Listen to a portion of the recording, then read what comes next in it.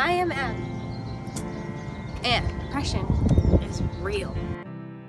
If you stop depression, then you stop the bad habits happening in our everyday lives. All these people that are depressed all of have something wrong.